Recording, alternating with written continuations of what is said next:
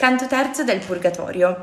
Abbiamo lasciato Dante e Virgilio che fuggivano perché intimoriti dalla sgridata che Catone aveva fatto alle anime indisturbate che stavano ascoltando il, musico Casella. Finalmente Dante e Virgilio si acquietano e vedono la montagna del Purgatorio. Dietro a Dante c'è il sole, lui sente questo calore, si guarda di fronte e a terra vede l'ombra. Quindi volge lo sguardo verso Virgilio, aspettandosi di vedere la sua ombra, ma purtroppo non c'è. Quindi si spaventa, inizia a pensare di essere solo. Infatti all'inizio del canto terzo eh, Dante ci ha confessato che senza Virgilio non avrebbe neanche iniziato questo viaggio, non saprebbe proprio dove andare, quindi si sente completamente eh, abbandonato. Virgilio si accorge di questo, di questo spavento e gli dice non ti devi stupire del fatto che io non abbia un'ombra che io non abbia un'ombra, perché sono un'anima inconsistente e non pensare che io ti abbandoni in questo viaggio. Quindi Dante è rassicurato, non si fa più domande, inoltre Virgilio dice che già grandi uomini, e si riferisce ad Aristotele e Platone, si sono già posti delle domande sull'anima e quindi ha, e hanno avuto delle conseguenze anche più o meno gravi. Dopodiché Virgilio e Dante continuano il loro cammino. Questa parete viene descritta da Dante come altissima, la più alta mai vista. Virgilio mm, inizia a ragionare ad alta voce, a chiedere ma chissà dove, dov'è il varco che dobbiamo prendere per poter salire questa montagna, se a destra o a sinistra. E così camminano mm, velocemente, ma a un certo punto Dante volge lo sguardo verso la parete di sinistra e vede delle anime giungere lentissime. Così Dante e Virgilio dicono: Bene, andiamo a chiedere loro dov'è il varco per salire questa montagna del purgatorio. Quindi Dante e Virgilio si affrettano, ma Dante dice che hanno già fatto mille passi, ma queste anime erano ancora lontane, questo per dirci quanto si muovessero lente.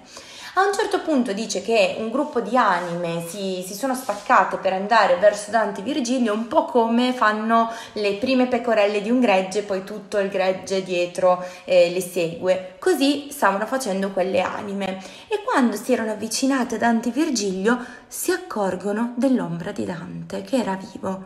Quindi spaventate, le prime tornano indietro e le altre come un gregge le seguono. Virgilio allora subito interviene per tranquillizzarle, spiegando del viaggio che stanno facendo, di non eh, preoccuparsi del fatto che Dante fosse vivo e a quel punto una di, di queste anime si stacca e si avvicina, a, si avvicina a Dante e chiede se l'abbia mai incontrato in vita, se si ricorda chi è mostrandogli le ferite. Dante allora capisce che è Manfredi, il figlio di Federico II, l'imperatore che abbiamo incontrato nell'inferno tra gli eretici, perché era ghibellino e a questo punto ci chiediamo perché Manfredi, che è eh, egli stesso ghibellino, quindi avversario eh, della casata di Dante, ora si trovi in purgatorio eh, con le anime che poi una volta che eh, avranno scontato la loro pena giungeranno in paradiso. Come mai?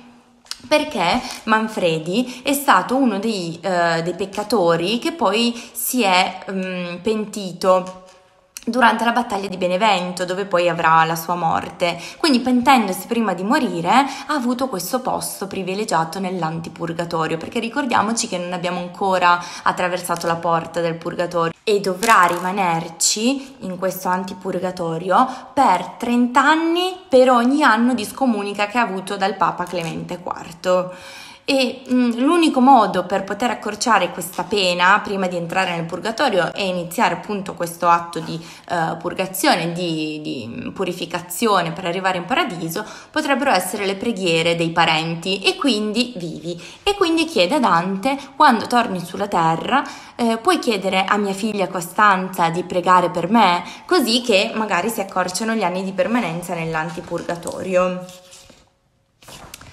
Il vescovo di Cosenza, eh, racconta Manfredi a Dante, aveva fatto prendere il suo cadavere dopo la battaglia di Benevento, l'aveva fatto portare fuori dallo stato pontificio, al buio, senza gloria e seppellito senza nessuna preghiera, così come era usanza fare con chi era considerato eretico e quindi Manfredi, essendo ghibellino, ha avuto questa fine.